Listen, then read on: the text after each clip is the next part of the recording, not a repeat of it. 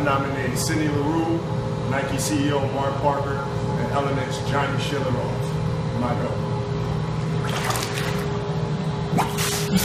Oh, that's cool.